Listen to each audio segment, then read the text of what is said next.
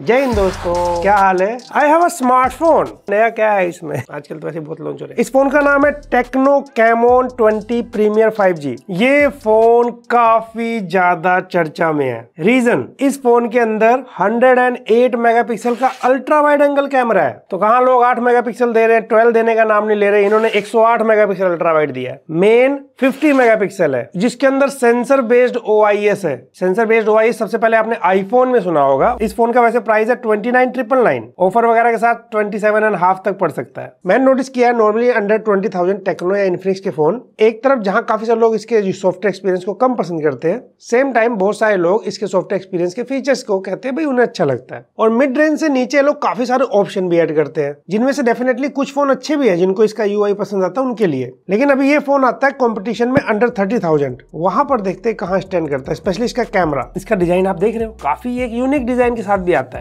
वैसे फ़ोन तो मैं बाहर निकाल चुका हूँ मतलब बहुत सारे सैंपल लिए भाई। क्या ही अच्छी क्वालिटी का भाई, इसके ऊपर बैक कवर दे रखा है। फास्ट चार्जर दे रखा बढ़िया 45 वोट का।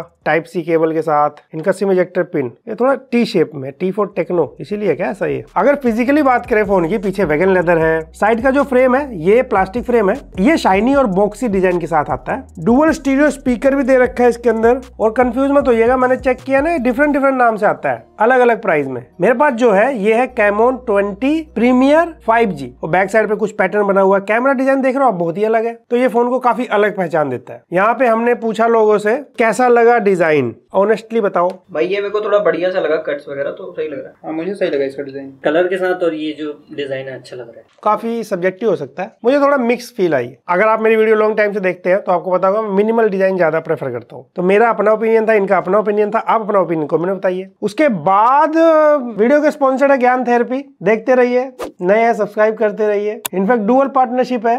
जी टी प्लस भी है। थोड़ा लो बजट वाला है वो। खैर, वापिस आते हैं फ़ोन के ऊपर। तो जैसा मैंने कहा 50 megapixel main camera 108 megapixel ultra wide two megapixel AI camera है 32 मेगापिक्सल सेल्फी इनफैक्ट इस फ़ोन का जो मेन हाईलाइटिंग पॉइंट है ना, वो कैमरा ही है। इससे मैंने मल्टीपल फ़ोटोज़ क्लिक करी है। मैं मतलब एक्सप्लेन करता रहता हूँ, आप बस फ़ोटोज़ देखते जाइए। सबसे बड़ी बात तो ये है, इसकी जितनी फ़ोटोज़ मैंने अलग अलग कंडीशन में क्लिक करी है। डे लाइट की फ़ोटोज़ अगर मैं दिखाता हूँ तो इसकी जो फ़ोटोज़ है, बहुत ज़्यादा इनकंसिस्टेंट है। ये phone twenty eight thousand thirty thousand के प्राइस पॉइंट वाले फ़ोन को टारगेट करता है। फ़ोटो बूस्टेड आती है, वो तो अट्रेक्टिव लगता है। अगर डायनमिक रेंज की बात करें तो वो इस फ़ोन से शेडो पार्ट पे उतना अच्छा डिटेल लेकर नहीं आ पाता। फेस पे कई बार अगर धूप वगैरह में आप फ़ोटो क्लिक करो फेस पे लाइट और स्किन को इतना अच्छा बैलेंस नहीं कर पाता।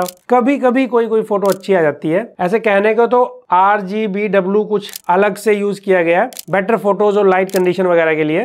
बट इसकी फ़ोटोज़ में कलर्स भी इतने अच्छे नहीं आते ओवरऑल निकल के। कभी कभी फ़ोटो तो बहुत ज़्यादा बूस्टेड कर देता है। इनफैक्ट एक फ़ोटो की बात करना मैं भूल गया। और ये पार्क की लाइट एक्चुअली वार्म टोन वाली थी। कुछ व्हाइट आती है, कुछ थोड़ा हल्का सा येलो टोन वाली होती है ना। तो ज़ाहिर सी बात है वो फेस पे या फिर यहाँ पार्क में असर दिखना चाहिए। बट इसने पूरी फ़ोटो को ही पीला कर दिया। ऐसा लग रहा अलग से येलो फ़िल्टर लगा के फ़ोटो क्लिक किया गया हो। अगर यही कैमरा रिज़ल्ट बीस से नीचे होते तो मैं कैमरे को अच्छा कह सकता था। आर्टिफिशियल लाइट अच्छी खासी दो, तब भी नोइजी सी फ़ोटो आती है। और अगर आप लो लाइट में चले गए, ये फ़ोटो मेन कैमरे से है, ये अल्ट्रा वाइड एंगल कैमरे से अल्ट्रा वाइड कहने को तो 108 मेगापिक्सल है। यहाँ पे डेफिनेटली मैं कहूँगा नॉर्मल 8 मेगापिक्सल से बेटर लग रही है मुझे, लेकिन लाइट बैलेंस इतना अच्छा कर ही नहीं पाता। अगर पीछे कुछ टेक्स्ट है लाइट है, उसे इतना अच्छा प्रोसेस नहीं कर पाता। तो इसकी मोस्टली सभी फ़ोटोज़ जो आती है ना एवरेज आती है। और साथ में जब बात करते हैं इसके वीडियो क्वालिटी की 4K 30 FPS बैक कैमरा से जा सकता है। अब जैसे मेन कैमरे में इनका सेंसर ओ आई है, पूरा सेंसर मूव होता है तो 4K क्वालिटी पे इसमें ए नहीं मिलता सपोर्ट उसके लिए 1080p पे जाना पड़ता है। लेकिन वीडियो इतनी स्टेबल आती नहीं है इससे। पूरा सेंसर जब मूव होता है, ज़्यादा स्टेबल वीडियो बननी चाहिए थी। और साथ में अगर लो लाइट में आप वीडियो शूट करते हैं जहाँ पे लाइट कम हो,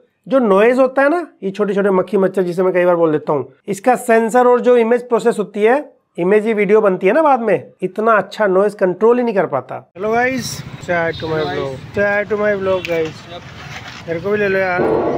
हम अकेले नहीं आए थे कहीं सैंपल लेने आप सोचो। The owner of the channel आके खजुआर इनसे वीडियो शूट करवाएँगे आज रात में ढाई बजे भी देखना।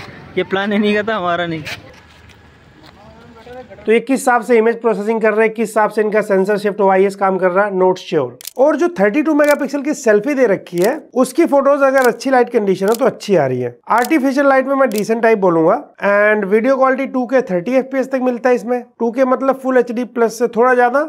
फोर के से कम। उसके अलावा अगर बात करें फ़ोन के अंदर ऐसे कोई हार्डवेयर वाइज, अगर आप देखेंगे डायमेंसिटी 1850 प्रोसेसर है सिक्स लाख एट्टी थाउज़ेंड के आसपास स्कोर आता है। उसके अंदर स्टोरेज मिलता है पाँच सौ बारह जीबी सीधा। काफ़ी अच्छी बात है। स्टोरेज टाइप तो मुझे मिला नहीं डिटेल में, लेकिन जब इस एप्लीकेशन से स्पीड टेस्ट करने की कोशिश की तो स्कोर देख के लग रहा है कि ये यूएफएस 3.1 हो सकता है। और जब फ़ोन को कैजुअली यूज़ करके देखा फ़ोन सही चल रहा है। ऐसा ज़्यादा दिक्कत देखने को नहीं मिली मुझे।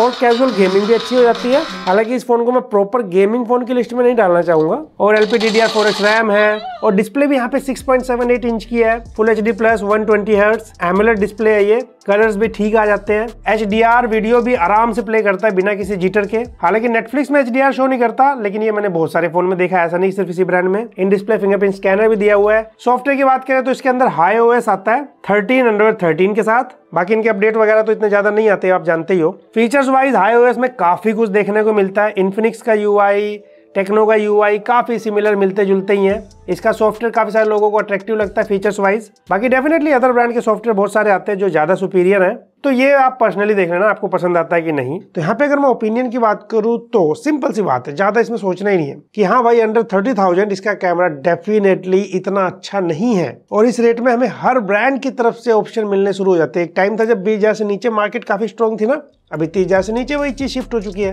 कोई ब्रांड बेहतर सॉफ्टवेयर दे रहा है, कोई बेहतर कैमरा दे रहा है, कोई बेहतर अपडेट दे रहा है तो ओवरऑल कॉम्बिनेशन कई सारे फ़ोन में मिलता है। तो ये कह सकते हैं कि अभी टेक्नो इन्फिनिक्स को बीस से नीचे काफ़ी सारे स्ट्रॉन्ग ऑप्शन देते हैं भाई एग्री लेकिन जब तीस हज़ार की बात आती है तो सॉफ्टवेयर अपडेट से लेकर कैमरा पे स्पेशल इनको बहुत काम करना पड़ेगा। इस फ़ोन का सबसे वीकेस्ट पॉइंट कैमरा हो जाता है, जो कि सबसे स्ट्रॉन्ग पॉइंट दिखाया जा रहा था तो वही मैंने टेस्ट करने की कोशिश करी इस वीडियो में। अगर आप चाहते हैं फ्यूचर में कुछ और टेक्नो इन्फिनिक्स फ़ोन की वीडियो की बात करूँ तो आप कमेंट सेक्शन में बताना। बाकी आपको कैसा लगा ये फ़ोन कमेंट करके बताना। आई हो वीडियो पसंद आएगी। वीडियो पसंद है तो लाइक से सब्सक्राइब करना। मैं मिलता हूँ आपसे अगली वीडियो में।